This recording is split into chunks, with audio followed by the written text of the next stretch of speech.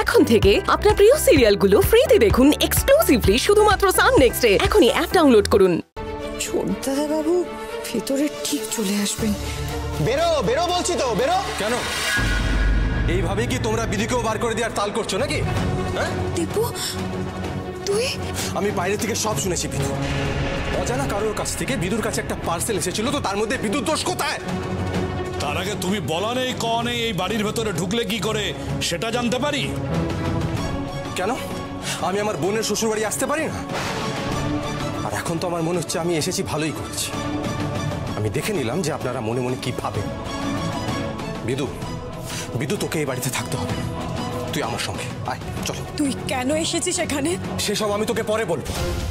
তোকে আর আমি এই বাড়িতে এক মুহূর্ত থাকতে দেবো না। তুই চল আমার সাথে তুই চল। ভালো। নিয়ে যাও বিদায় করো।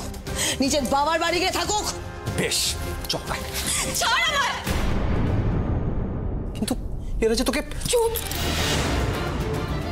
বিয়ে কি জিনিস তুই জানিস? কিন্তু এরা যে তোকে অপমান করে যাচ্ছে সেটা কিচ্ছু না। ওরা নিজেদের ভাবে?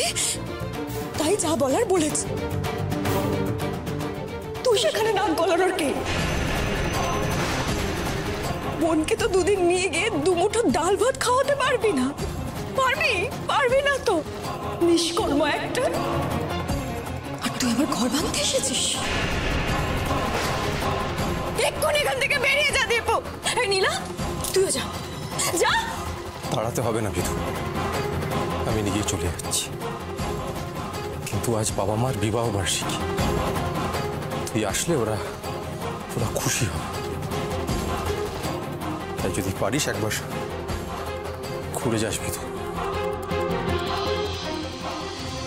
নীলা যেতে বলেছি।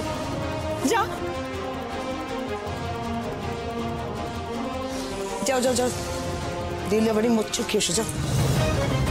শোনো এতক্ষণ ধরে তুমি আমাদের ওপরে যে মানসিক টর্চারটা করলে আর তোমার ওই অকাল কুষ্মাণ্ড ভাই এতক্ষণ ধরে আমাদের যে কথা শোনালো সবটা আদায় করে এনো বুঝেছ?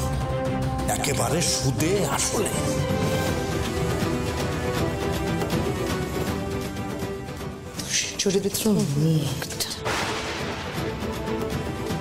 সুমন খেতে আয়। আমি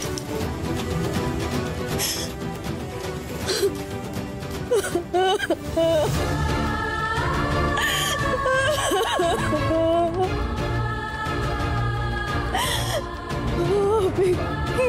করিনি সত্যি আমি কিচ্ছু করিনি